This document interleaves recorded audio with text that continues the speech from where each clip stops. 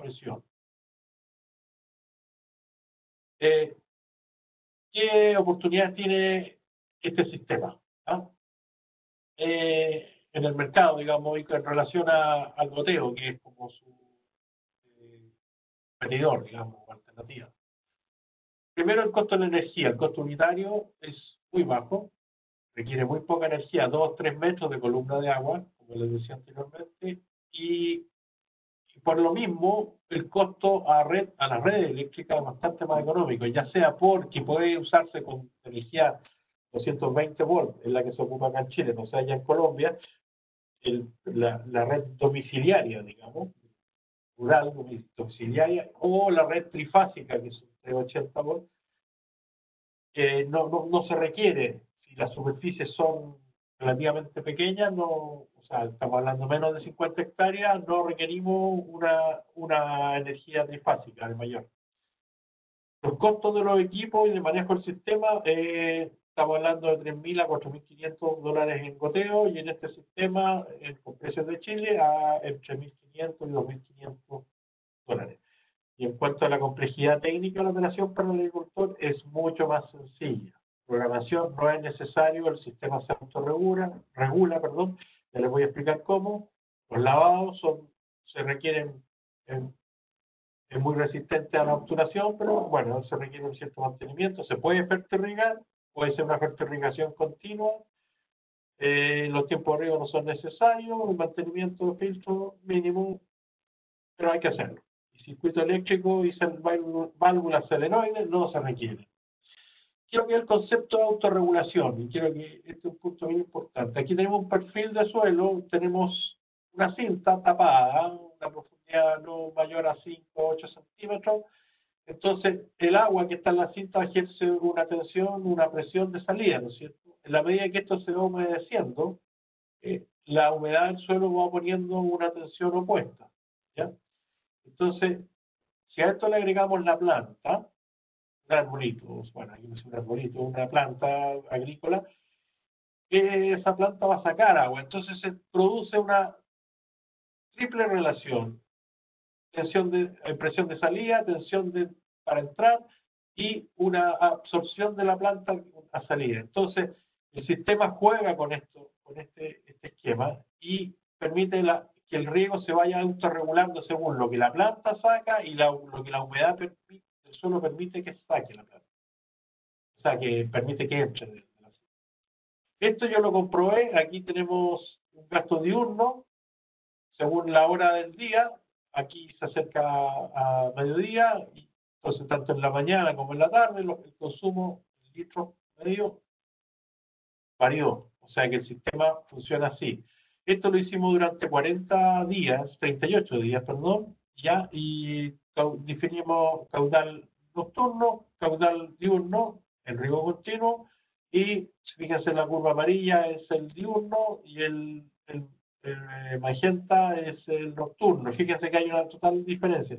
Cuando se acercaron los puntos, o porque llovió, o porque estaba nublado, bueno, en un caso que se desconectó la, la, manga donde se alimentaba el sistema, pero eso fue por accidente.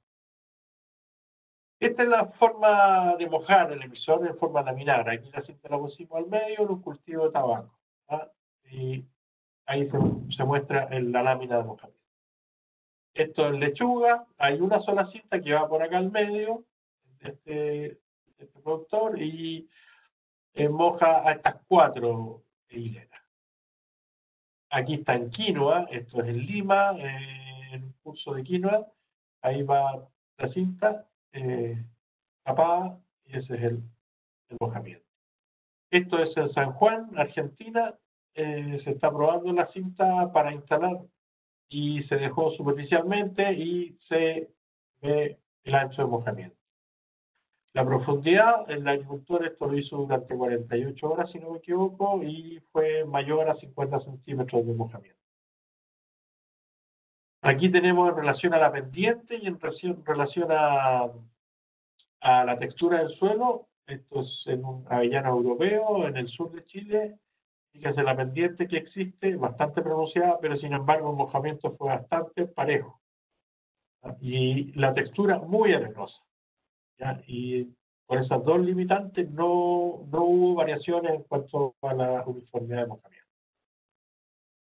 Bueno, eh, otra cosa que yo le planteo a los aquí hay un productor de flores cerca de Santiago de Chile y tiene una, dos, tres, cuatro, no sé si cinco cintas por, por eh, canal, digamos, bancal.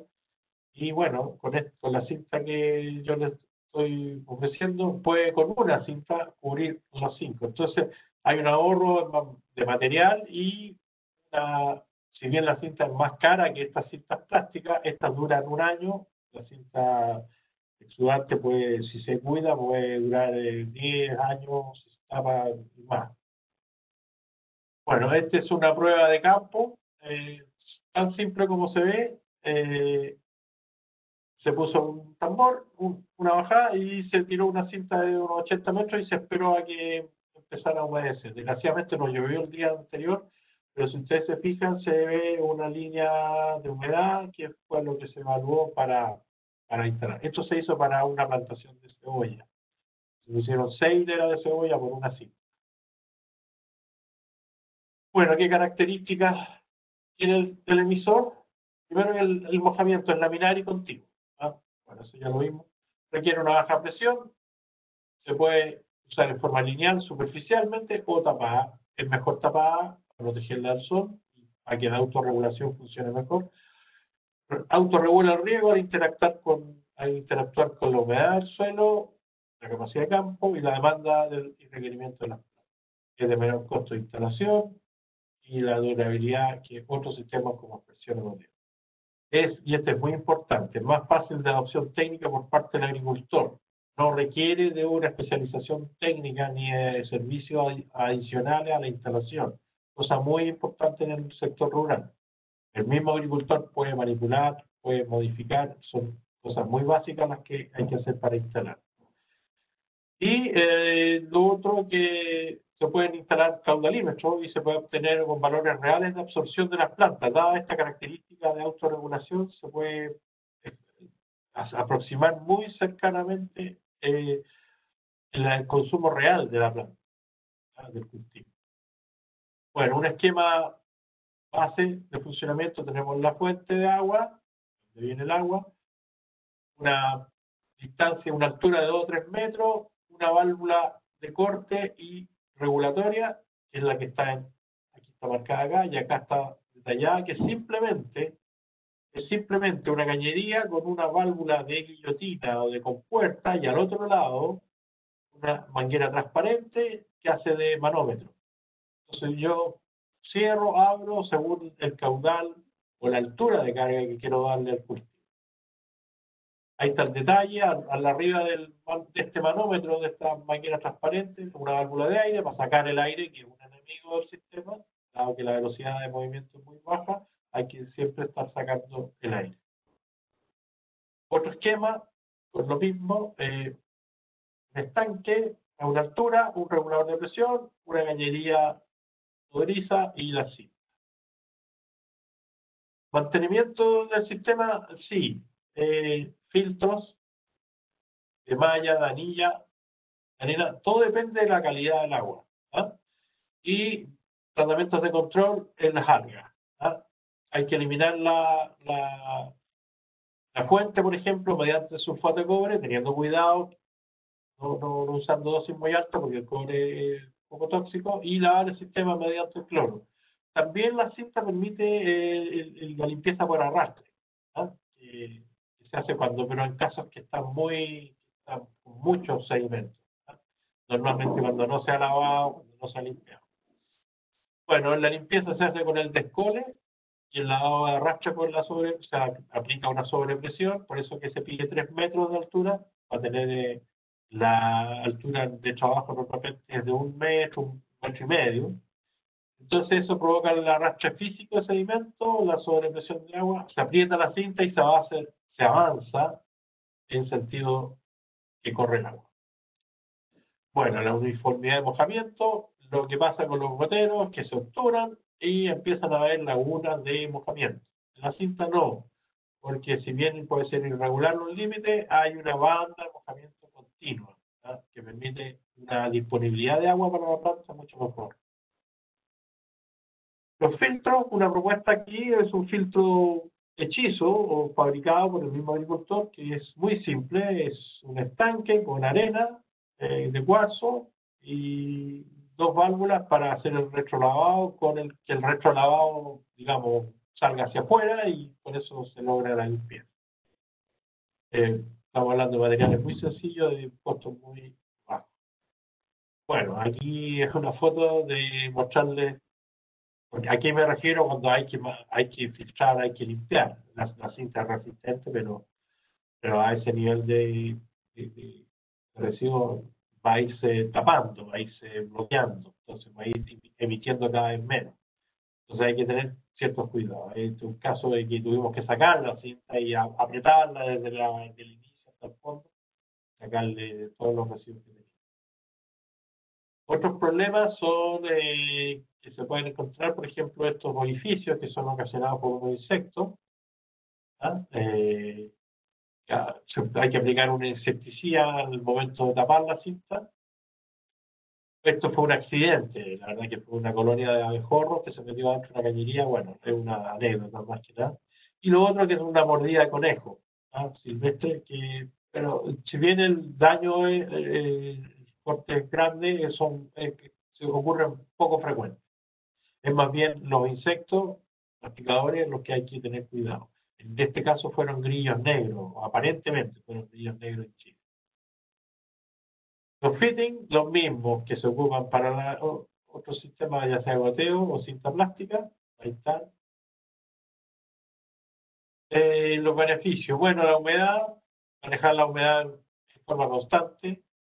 Se puede humedecer y favorecer trasplantes. Al regar en forma específica se puede mejorar, disminuir el control de maleza, se puede fertilizar en forma constante, ya eso es muy importante, eh, no necesito inyectar una dosis de fertilizante en forma instantánea, la puedo ir entregando paulatinamente, cosa que es bastante bueno para la planta y para el, el desarrollo. Y los costos de instalación es estamos hablando de un 30 o 50% menos que goteo y el funcionamiento yo diría un 80% de, de menor costo, dado la baja presión que requiere. Bueno, esto es en caso de Chile, las fuentes de financiamiento de proyectos, hay una ley de riego, hay instituciones que apoyan este, este, esto. me, la iba a sacar, pero se me pasó, bueno, se las, se las menciono. Aquí tenemos en frambuesa, riego Ahí está la cinta, antes de taparla. Espárrago, tenemos ahí la cinta. Después esta la sacamos cuando ya, un par de meses después, la segunda. Un invernadero, un simple estanque eh, que se llena y abajo saca, aquí está mojando, ahí se puede ver. Eh, idealmente yo recomiendo que después la tapen, pero bueno, efectos visuales es mejor mostrarlo así. Este es tomate industrial, donde están las líneas rojas, estaba la, la cinta. Este produjo 130 toneladas por hectárea, lo que imagínense la cantidad de agua que significa eso. Y estas cintas que están aquí y aquí eh, mantuvieron el cultivo durante todo el periodo vegetativo y productivo y con el rendimiento que les hablé. Bueno, aquí tenemos eh, en cuanto a estos no es hidroponía, no son unas mangas que las rellenan con sustrato. y ese, es un pequeño tanque y con eso estamos regando esta, estas lechugas ¿ah? y funciona perfectamente. Esto se usa en Chile en, suela, eh, en suelos muy malos, digamos, muy baja calidad, digamos. Entonces se, se usa donde hay buen clima, se ponen estas almohadas con este, creo que es fibra de coco. Eso capaz que nos traigan de Colombia. Bueno, y lo último, en arroz. A mí fue una sorpresa, eh, el INTA en Concordia, Argentina, la probó la cinta en arroz. Y yo siempre asocio el arroz a las tacitas, digamos, de agua. Bueno, estamos evaluando esto, queremos hacer un proyecto. Chile hay una buena superficie de arroz que podría usar, sobre todo usar la cinta y sobre todo en cuanto a la eficiencia del uso del agua, que fue el 50% menor. Bueno, mis datos, ah, está la página web, celular, WhatsApp y Skype. Bueno, me solicitaron que presentara, creo que ya lo hizo el presentador anterior, eh, las empresas chilenas que están participando en esta rueda de negocio, perdón, que van a participar en la rueda de negocio, y aquí se los menciono. Finalmente, agradecerles que me hayan escuchado y aquí estamos probando en el norte de Chile, en el desierto, fíjense en los cerros, eh, la cinta en Alcachopas. Eso sería, sería, no sé si hay preguntas. Alberto, muchas gracias, muchas gracias también pues porque fuiste demasiado puntual en, en, la, en la conferencia. Sí, tenemos eh, varias preguntas. De hecho, pues eh, la primera nos la hace Miguel Romero. Él nos dice, ¿qué sistema se puede diseñar para riego en ladera donde la fuente de agua se encuentra en la parte de abajo? Bueno, eh, claro, en ladera lo ideal es mantener una cierta curva de nivel en la plantación. O sea, se le puede dar alguna pendiente, pero, pero mantener, porque la cinta es muy sensible a los cambios de presión. Entonces, si yo le doy mucha topografía, mucho desnivel a la instalación de la cinta, va a acumular energía en la parte más baja. Ahora, si el agua la tienes abajo, abajo no, no hay más que subirla. Hay que subirla de alguna forma. Ahora, el tema es que la cantidad de energía y el equipo que tú necesites para subir agua en este sistema es básicamente llegar al punto de entrega, más que sin tener que presurizar el sistema. Entonces es, mucho, es muchísimo más, más baja la energía que se requiere. Tendría que darme los datos de qué altura, hacerle un cálculo más o menos de cuánto HP o kilovatios para llevar el agua a esa altura. Tiene que llevarla y la plantación tendría que ser en curva de nivel con cierta pendiente, pero no más allá de un 1,5%. Habría que examinar la topografía también. Listo, entonces la persona pues que también hizo la pregunta, ahorita Alberto nos como sus contactos, digamos en caso de que eh, no se pueda responder al 100% porque hace falta algunos datos, ahí eh, Alberto pues tiene su correo electrónico, ustedes pueden comunicarse con, con él eh, hay una persona, pues, Agus Blanco nos dice que nos deja ahí su correo y nos dice que si por favor podrían enviarle datos de los equipos para riego y fertirriego en cinta eh, exudante. Entonces también pues Alberto va a pasar como el contacto de esta persona para que tú lo tengas y hagan la, la gestión. Fabio Pardo nos pregunta que cuánto perdona, eh, en relación al, sistema de riego es súper sencillo, es muy simple, es simplemente es un, poner un estanque con un dosificador en, en el estanque distribuidor o en la parte donde se alimenta la nodriza en una altura mayor para que vaya echando por gravedad. Es tan simple como eso. No se requiere bueno. venturi, no se requiere sobrepresión. Listo, gracias. Entonces, eh, aquí en la pregunta que iba Fabio nos pregunta que cuánto es la descarga en litros por hora, en cuánto se estima el ahorro en consumo del agua comparado con goteo tradicional. Ahí hay dos preguntas. Sí, a ver, el caudal ya es una cosa que difícilmente la entienden en un principio, pero el caudal es variable del sistema. Porque como yo les mostré ese esquema, el caudal se va entregando en relación a la humedad del suelo y lo que la planta está extrayendo. ¿Ah?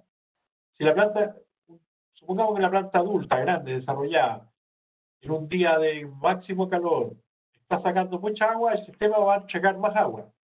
Pero si es al revés, es una planta pequeña, hay una humedad suficiente en el suelo, la entrega va a ser muy baja. Todo esto en, un nivel de presión muy, eh, de un metro, un metro y medio. Entonces, eso, el, el riego por goteo está estandarizado, tantos litros por hora, tanto. Ahora, en cuanto a economizar agua, ojo, hay que, eh, no hay que economizar producción, Si la planta para su máximo potencial necesita 100, por decir algo, algo yo si le doy 90, claro, estoy economizando 10. Pero ¿cuánto estoy economizando en producción? ¿Cuánto menos está produciendo la planta? Entonces, lo que busca este sistema es mantener una humedad constante. Y eso lo logra mediante eh, una entrega eh, automática, regulada, que la hace el propio sistema. Yo cuando le mostré esos gráficos, eh, medí eso. Ah, eso lo fui midiendo día a día, hora a hora. Y efectivamente es así, funciona así. Alberto, muchas gracias. Eh, Renieri tiene varias preguntas. La primera de ellas es, en la foto de hortalizas de quinoa, se mira que al principio es más ancha la franja de humedad que al ir avanzando. ¿Cuál es la máxima longitud de surco? Sí, eh, buena pregunta. Lo que pasa es que en la cinta inicialmente, eh, con el tiempo se va logrando la uniformidad de mojamiento. ¿Ah? ¿Por qué? Porque al principio, como es a baja presión, va mojando más al principio y menos al fondo, pero en la medida que va pasando el tiempo, o sea, la humedad misma que va acumulando en la parte inicial va haciendo de, barrera para que empuje el agua hacia abajo. ¿ah?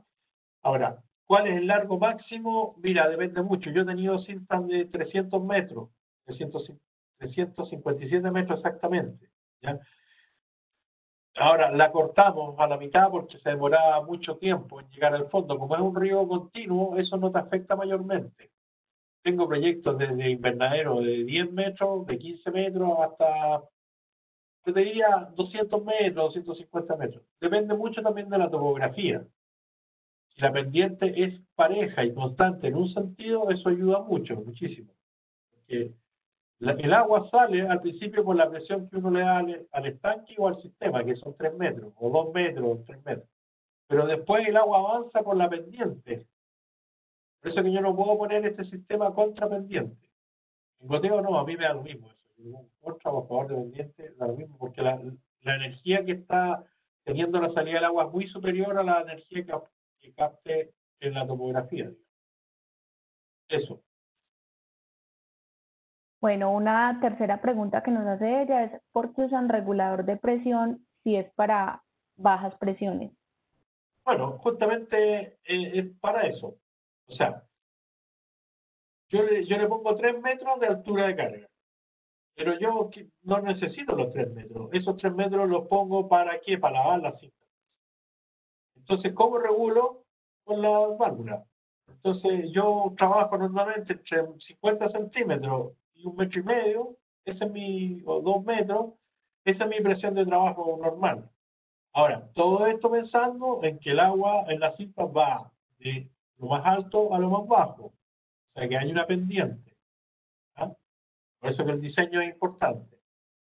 Entonces, yo con el regulador, ¿qué es lo que hago? Cuando tengo que lavar la cinta, abro todo, toda la presión y le transmito toda la presión del estanque que está a 3 metros o del sistema a la cinta y con eso la voy descolando y la voy lavando. Esa es la razón. Pero para funcionar necesito sobre medio metro y que la pendiente acompañe el recorrido del agua en la cinta.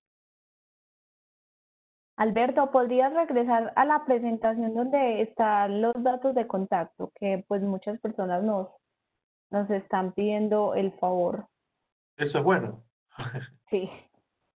Ahí está. Listo. Para todos los que están preguntando, entonces aquí está eh, el sitio web, el celular y pues el contacto de, de Skype de, Alberto para que resuelvan de una manera más directa las, las dudas. Eh, bueno, por acá Mónica nos pregunta, eh, entendemos que el cultivo de arroz debe sembrarse casi en lagunas. ¿Cómo sería la aplicación del agua con este sistema? Bueno, Mira, eh, esto está en desarrollo, eh, pero bueno, yo cuando me dijeron eh, en Argentina quería, quería probar el arroyo, dije, esto está loco. Acá en Chile todo se hace en, en tacitas, en lagunas, digamos. ¿ah? Pero bueno, lo probaron y pusieron, y les funcionó perfecto. cuando me dijeron que iban a probar en goteo también, yo dije, ah, ya, bueno, probar en goteo tienen que probar con mi cinta también. Entonces, claro, lo, único que estamos como viendo, y por eso estamos preparando un proyecto, estamos buscando un proyecto financiamiento, es verla, porque allá en Argentina probaron una cinta cada un metro veinte. Entonces, si yo saco el costo por hectárea, es mucho, es altísimo. Entonces, un productor de arroz no lo, no lo va a asumir. Entonces, yo les propuse, bueno, ¿por qué no probamos con la cinta? Como es muy sensible frente a la presión, distanciar la cinta y hacerla cada cuatro metros, cada cinco metros. Con una ISO, una... Mira, lo que queremos hacer es que en vez de que haya un pretil, lo que hay en arroz, pretil es, acá le llamamos a esa altura, a ese montecito que se hace para, para, para que el agua aquí no se escurra, eh, poner una cinta y, jugar con la presión a ver cómo, cómo funciona. En Argentina les dio 9.000 kilos por hectárea eh, en ensayos, ¿de acuerdo? Y 10.000 metros cúbicos por hectárea. En Chile el rendimiento son 60, 60, 70, 6.000 a 7.000 kilos y 20.000 metros cúbicos. ¿ah? Entonces el ahorro en agua y el aumento de producción fue importante. Pero como estaba en la foto, eh, la idea justamente es poner, ahí está la cinta, poner la cinta y, en, en, en, curva de nivel con una leve pendiente. Eh, yo le entiendo a la que hizo la pregunta que le parece lo más raro que, que hay, porque yo también lo encuentro súper raro también. En Chile uno cuando va a esta etapa del cultivo está con unos 10, 20 centímetros de agua lo lograron, lo hicieron, entonces la idea es que queremos transferir eso acá a Chile. Si transferir a otros países, tanto mejor. Eso. Muy bien, Alberto. El Kim Jaramillo nos pregunta que cuál es el costo promedio del metro de cinta y a la segunda pregunta pues nos dice que en Colombia donde se encuentran, aprovecho ahí a invitarlos a conectar con la empresa de Alberto en la rueda de negocios que vamos a tener la próxima semana, digamos también todos los que están interesados desde la parte comercial, del 7 al 11 de septiembre vamos a estar teniendo la rueda de negocios, ahí pueden agendar citas con, con la empresa eh, donde, donde trabaja Alberto. Entonces, te doy paso como a que dé respuesta a esa primera pregunta y también en Colombia donde se pueden encontrar. Ya, mira, eh, el costo FOB eh, son 30 centavos de dólar el metro. Es el costo. Ahora, si tú sumas todos los costos de este sistema en relación, por ejemplo, a boteo, en cuanto a inversión, es un 30 o 50% más barato. Eh, más aún si es que tienes que la energía eléctrica no tienes que traerla, sin considerar, suponiendo que tienes la energía eléctrica en tu predio, en tu campo, y suponiendo eso, eh, es, es el, costo es 30 a 50%. Ahora, lo segundo, ¿dónde comprar? Yo hasta el momento eh, en Colombia estoy en conversaciones con una gente que quería hacer una tesis. Y para probarla, para, para, para llevarla, ¿ya? Pero no tengo un contacto comercial. Espero en esta ronda eh, de citas, digamos, empezar a, a, conversar con alguna empresa para...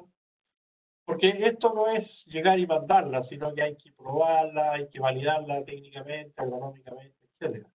Entonces, eh, sería ideal, bueno, por último, llevar unos metros para que la gente la pueda probar, la pueda, se pueda, pueda hacer las preguntas con, en base a la, a la experiencia.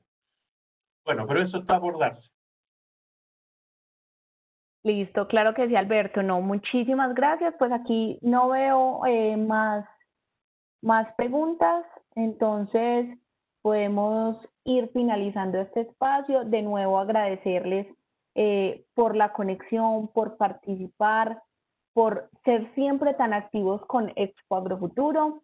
Eh, recuerden que la próxima semana, como les decía, del 7 al 11 de septiembre vamos a tener la rueda de negocios de Expo Agrofuturo y de Conexia. Expo Agrofuturo hace parte de Conexia, que es esta gran plataforma donde estamos uniendo todas las ferias del sector agroindustrial como Agroexpo, como Alimentec, eh, para que ustedes conecten con toda la cadena de valor para que hagan negocios con empresas no solamente colombianas, sino empresas, por ejemplo, como la de Alberto, empresas de Argentina, de Brasil, de Reino Unido, de las distintas delegaciones que pudieron ver en la tienda virtual de Expo Agrofuturo.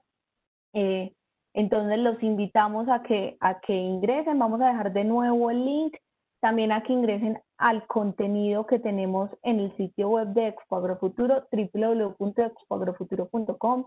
Ahí a partir de la próxima semana van a poder descargar la certificación. Si usted participó en el foro y en el congreso de Expo Agrofuturo, va a poder tener su certificación académica por parte de UPB. Eh, ahí pueden ingresar, descargarla, pueden volver a ver las conferencias que se perdieron y los agrotalks que también tuvimos durante esos tres días del evento. Fueron más de aproximadamente unas 80 conferencias que vamos a estar, aún no se han terminado de publicar en el sitio web, sí en el canal de YouTube, pero no en el sitio web, entonces las vamos a estar publicando ahí.